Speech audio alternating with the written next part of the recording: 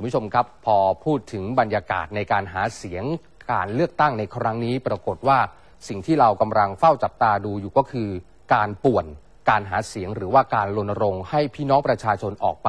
ใช้สิทธิ์ใช้เสียงนะครับ ปรากฏว่าเหตุการณ์เกิดขึ้นแล้ว ที่จังหวัดลบบุรี ล่าสุดนั้นตำรวจลบบุรีรวบผู้ต้องหาได้ 5 คนส่วนใหญ่เป็นเยาวชนด้วยนะครับกำลังทำลายป้ายหาเสียงอยู่เลย พร้อมกันนี้นะครับป้ายของ ผู้สมัครของสองสสจากพักใหญ่ที่กำลังขับเคี่ยวกันอยู่ ได้รับความเสียหายหมดเลยนะครับ พาขึ้นไปที่จังหวัดลบบุรีคุณผู้ชมครับตำรวจภูธรเมืองลบบุรีได้รับแจ้งจากพลเมืองนะครับ บอกว่าได้ช่วยกันล้อมจับ ผู้ที่กระทำผิดกฎหมายเลือกตั้งได้ 5 คน ตอนที่กำลังทำลายป้ายหาเสียง แล้วก็เป็นป้ายแถลงนโยบายของพรรคเพื่อไทย แล้วก็ภูมิใจไทยด้วย โดยจำนวนหลายป้ายครับที่ติดตั้งอยู่บริเวณ ริมถนนพหลโยธินทั้งสองฝั่งระหว่างหลักกิโลเมตรที่